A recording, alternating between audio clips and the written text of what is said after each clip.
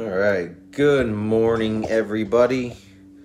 Dylan here with Dylan's Home Espresso Bar, and today we are going to be brewing some Guatemala Geisha from Good Brothers. This is his 20, I believe it's 21.99. Um, really excited to try this coffee. He sent it to me about maybe a couple days ago. We're gonna go ahead and give this a try. We're gonna be brewing it on the AeroPress and we're also going to be grinding all of it with the uh, St. Anthony Industry hand, uh, hand millwright hand grinder. And I believe I have it set on setting 35, so we'll see kind of where we gotta be at. But this smells very fruity. Tasting notes are white honey, raspberry, and rose petals. It is a Geisha Natural.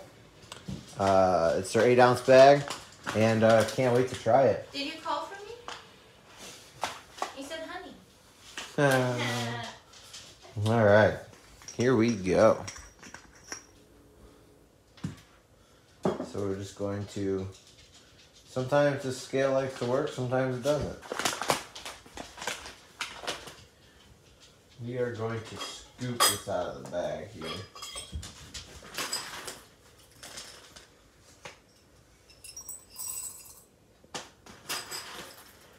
I'm thinking like 18 grams.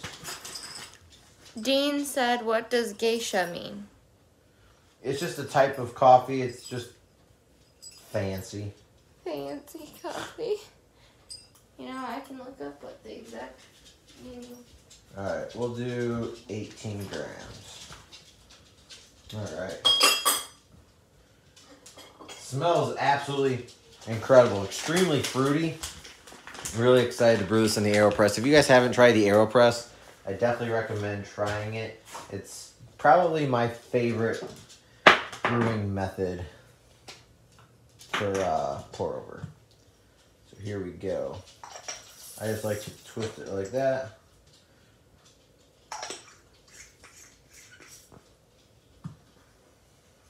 And we'll time this, see how long it takes to hand grind on setting 35.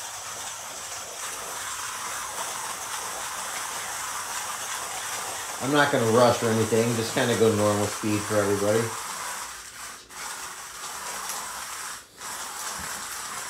Let me know if you all can hear me.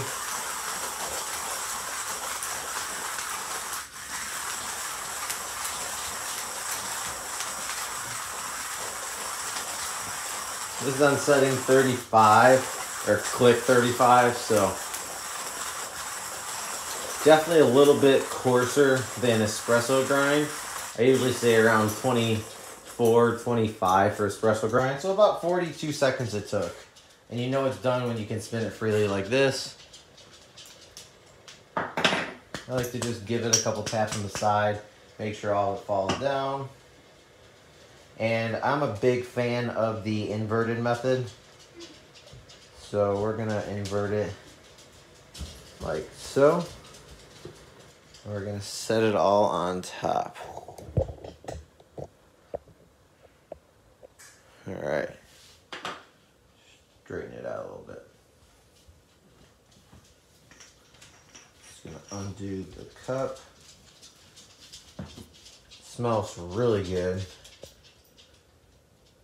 And we're just gonna dump it in there.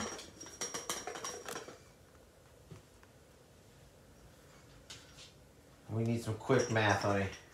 Quick math. Alexa, what's 18 times 16? 18 times 16 is 288. All right. Some uh, resources in the background. Sometimes this scale works good, and sometimes it doesn't. My other one, the first one they sent me, worked really good.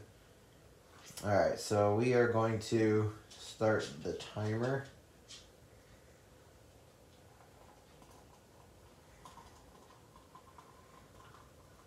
Add about 85 grams.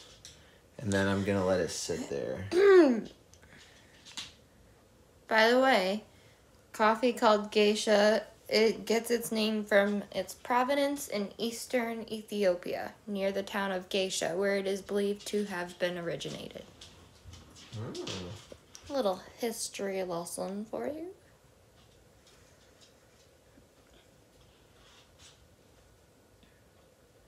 So we're gonna go to 200.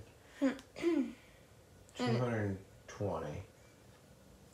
And it says that legitimate geisha coffee from Panama is so expensive because it requires unique cultivating conditions. And I don't have my stir stick, so we're gonna use this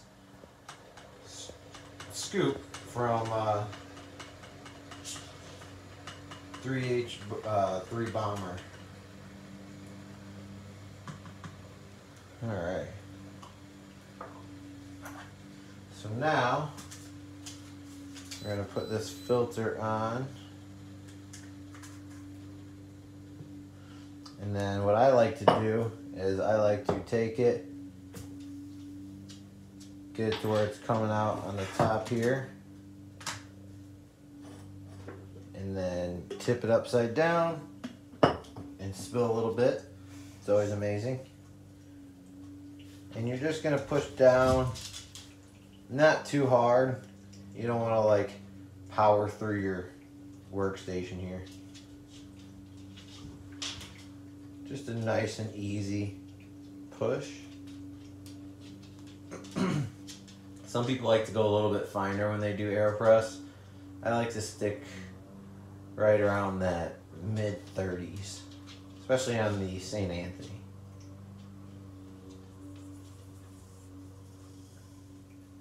When you hear the hissing, you can pull up. And that's why we always have a rag on hand. Alright.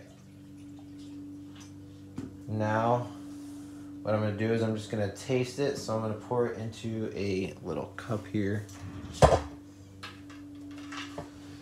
If I can figure out what cup I want to use. We'll use a crew latte cup. Why not? I like to try a little bit. Cheers. Swirl it around a little bit.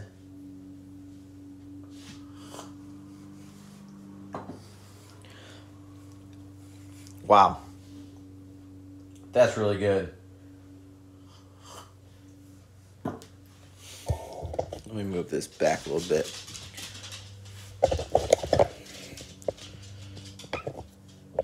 Excuse my uh my mess. Tell me if I'm in the picture. Can you see me okay? Yes. Alright. You can also see our neighbor mowing the lawn.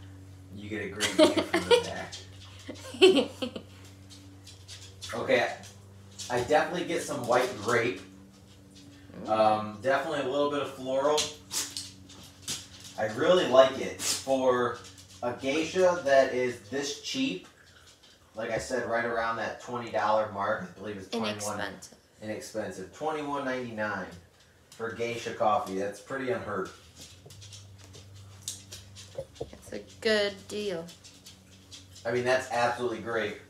Normally, I dilute it a little bit, uh, so I'll add about 60 grams of um, temp- uh, about 200 degree temperature water, and then I'll do about 60 grams of room temperature water to kind of shock the coffee.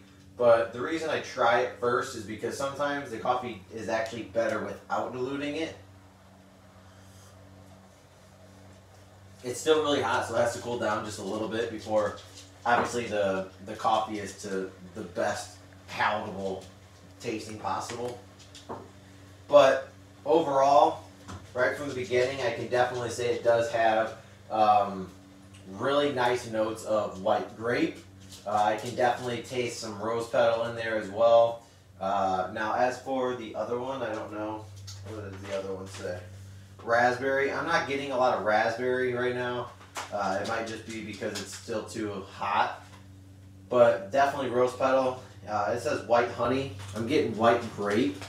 Uh, I really do think that. Uh, I mean, I drink this drink from. It's like a what is it like a sparkler? Uh, Sparkling water. sparkling water Yeah, it's white grape sparkling water, from Meyer. and I can definitely taste some hints of that in here. Or it might just be because I just had some of it, and I can still taste it.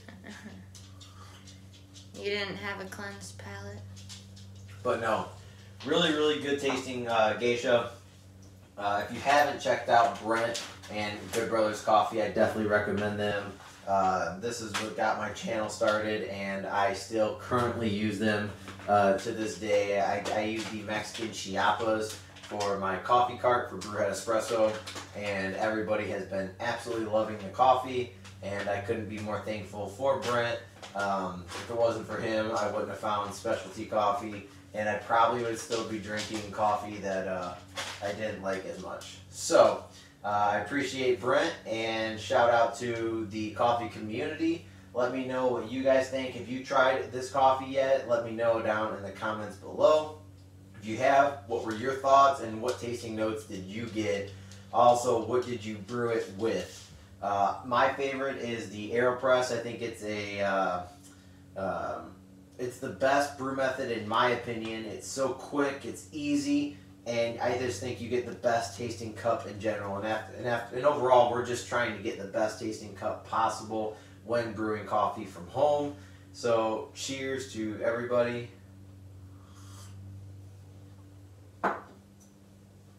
Very good. Definitely at the right temperature now. Still no raspberry, but I do taste white grape. Um, I guess you could say white honey. Uh, it's got some sweetness to it and uh, very smooth. And uh, definitely would recommend trying this coffee. I'm going to be using it for the Stagg, uh, the Stagg for uh, my pour over, and also be brewing it on espresso. I'm not sure how it would taste with espresso, but we're going to try to figure that out um, soon to come later this week. So thank you guys so much for watching. My name is Dylan with Dylan's Home Espresso Bar the proud owner of Brewhead Espresso, and I will catch you in the next video. Stay caffeinated.